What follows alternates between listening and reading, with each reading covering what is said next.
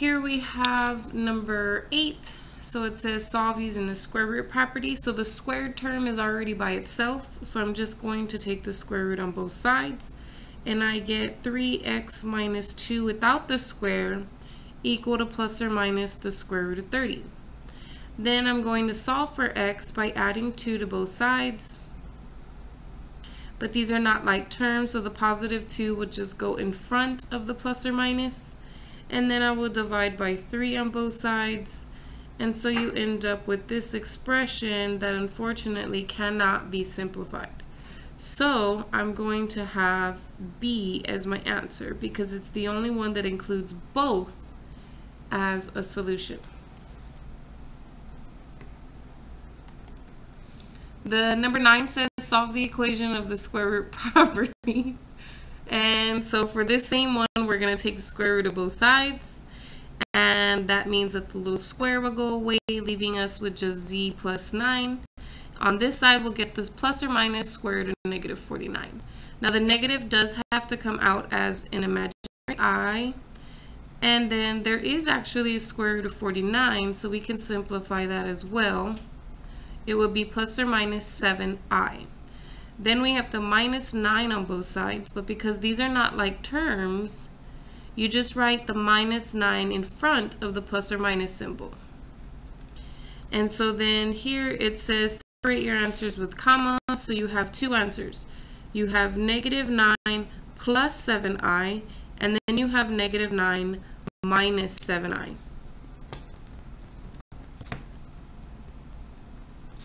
And those are the two solutions for that problem. Now for number 10, it's solve using the quadratic formula. So I have to remember that A is equal to 1, B is equal to positive 3, and C is equal to negative 2. And if you don't memorize the quadratic formula, make sure you include it on your note sheet, okay? So here it would be negative b plus or minus b squared minus 4 times a times c all over 2a. So this becomes negative 3 plus or minus that is 9 plus 8, which is 17 over 2. Here it says simplify your answer, type an exact answer using radicals as needed. And then use a comma to separate your answers. So my answers are going to be negative 3 plus square root of 17 over 2 and negative 3 minus square root of 17 over 2. Number 11 says solve the equation using the quadratic formula. Problem here is, is it's not equal to 0. So we will have to minus 2x and add 5 to both sides. So the equation becomes x squared minus 2x plus 5 equal to 0. Then that means a is 1, b is negative 2, and c is 5. So we get x equals, and I forgot that here, so x equals those guys, um, negative b plus or minus b squared minus 4ac all over 2a. So we get positive 2 plus or minus 4 minus 20, which is negative 16 over 2. Now, the square root of 16 is 4, and if it's a negative, it means it's going to be imaginary. So this is 2 plus or minus 4i over 2 which is the same as 2 over 2 plus or minus 4i over 2, which is 1 plus or minus 2i. So in here, my answers are going to be 1 plus 2i and 1 minus 2i. Now, um, for number 12, we have solved the following equation using the quadratic formula again.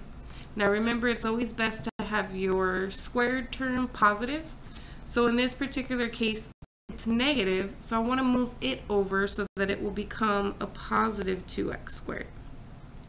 So this equation will become 0 equals positive 2x squared minus 7x plus 9. So A is equal to 2, B is equal to negative 7, and C is equal to 9.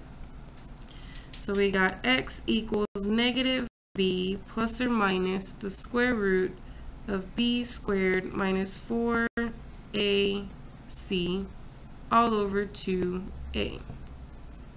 So we get positive 7 plus or minus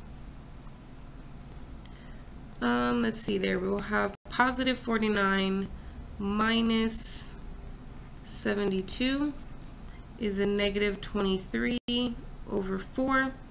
This will come out as an I, but unfortunately, um, square root of 23 does not reduce. And so it says here, type an exact answer using radicals, express complex numbers in terms of i's.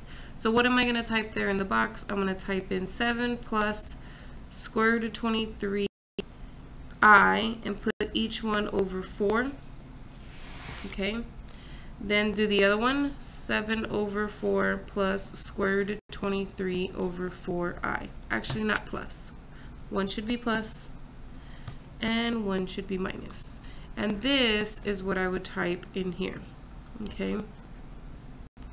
I kept forgetting to circle all of my answers, but um, in my math, as long as you're um, typing them in there, it's fine. In uh, on the test, make sure you circle them on your paper and that you select the correct answer on the test. You will not earn credit for a problem if it is not completed on your paperwork and you will not re um, receive credit for a problem if the problem was not answered on the test itself. Okay. So number 13 says solve the equation. And here we have fractions. We have two different denominators. So what we're going to do is we're going to multiply each fraction by that common denominator, which includes both factors of the denominators.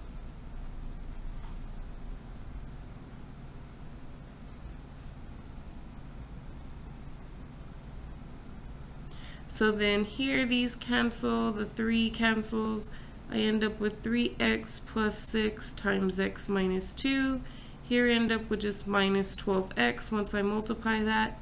Here I end up with 3x times x minus 2. So if we multiply this out,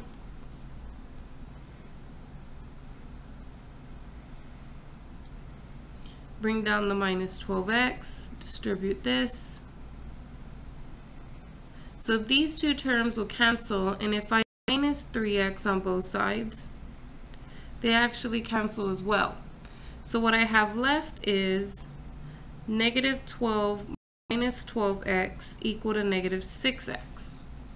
And so you want to get the variables on one side, the constants on the other, and then you can divide.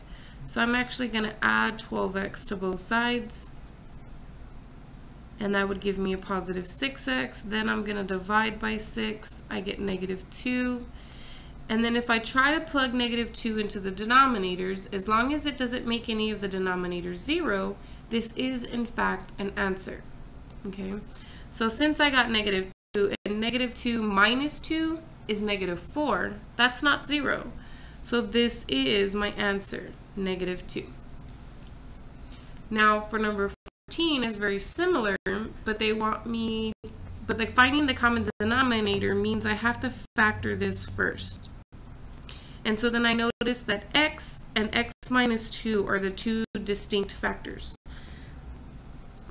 So I'm going to take my fractions and I'm going to multiply them by x and x minus 2.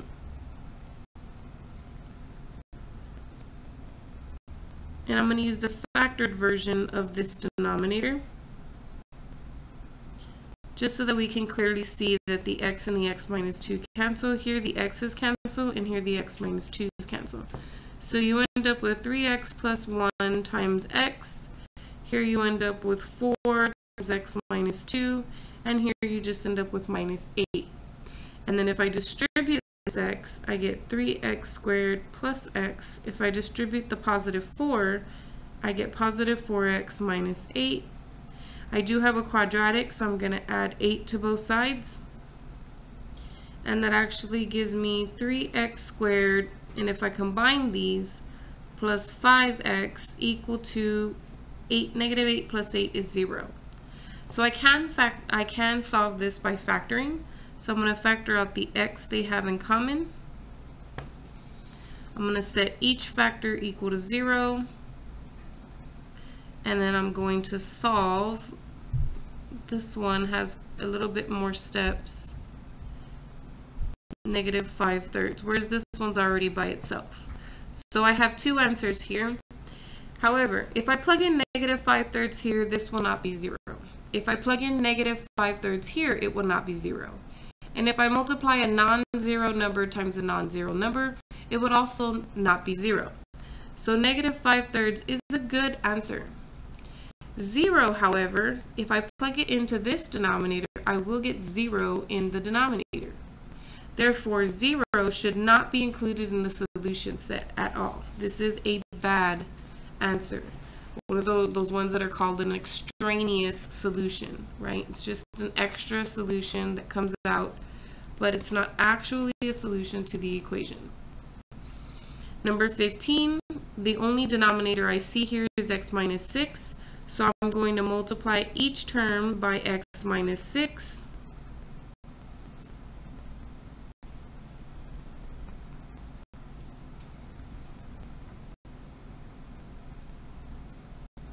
So that will cancel these denominators. I get 6x equal to 9 times x minus 6 plus 2x squared. If I distribute that,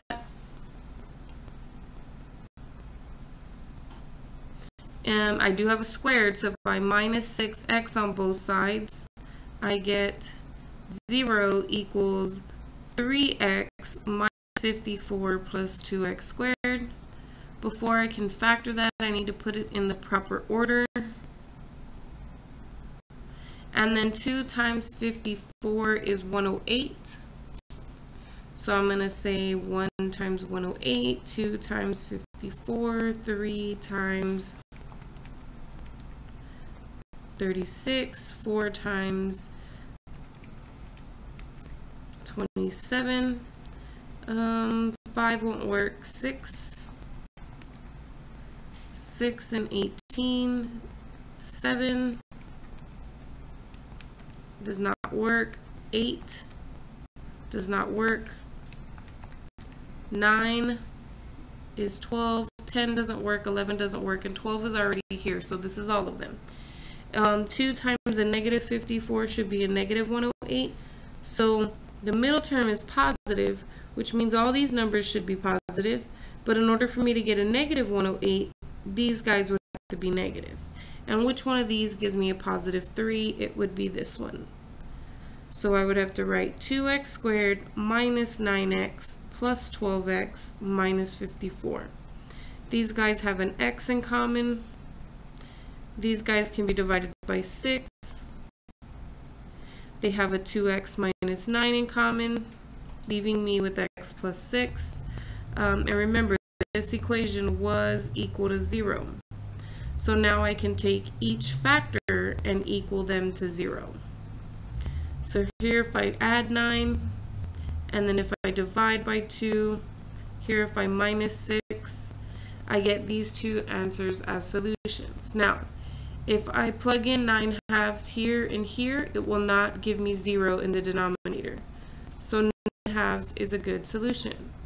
If I plug negative 6 in here and here, I'll get negative 12. Which means negative 6 is also a good solution. So I do have two solutions to this equation. Now for number 16, this says solve the equation and it's a radical equation. In order for me to solve a radical equation, I do have to have the radical by itself on one side. And I'd rather have that radical be positive. Currently it's negative, so I'm going to add it to the other side so that it can become a positive. Then x will be all by itself on the left, and 0 plus anything will be that exact same thing. Then I can square both sides to eliminate the radical, giving me x squared equal to 8 minus 7x. The x squared term is positive, so I want to minus 8 and add 7x to both sides. So that would give me 0 on the right hand side, and on this side I'm going to put these guys in order. So x squared, positive 7x, and then minus 8. Now here you have a 1, so 1 minus 8 is minus 8.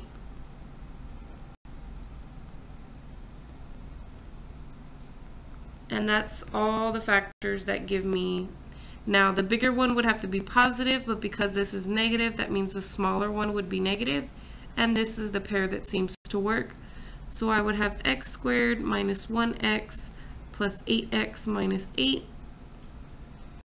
Factor out an x on this side, factor out an 8 on that side, and we get x minus 1 in common and x plus 8 still equal to 0. And if I set each factor equal to 0, I'm going to have to add 1 to both sides. Here I'm going to have to minus 8 to both sides. And so I get two answers, 1 and negative 8. But with radicals, you have to check the whole thing. So first I'm going to check 1.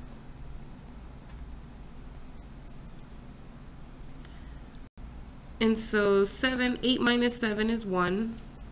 The square root of 1 is 1, and that does in fact equal 0.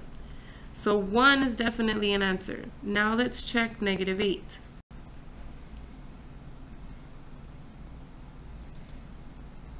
So here we get 72 positives, um, 7 times 8 is 56. Positive 56 and a positive 8 is going to give me 64. The square root of 64 is 8, but negative 8 minus 8 is negative 16. That does not equal 0. So for this problem, negative 8 is not a solution. So I only have one solution, and it happens to be the number 1.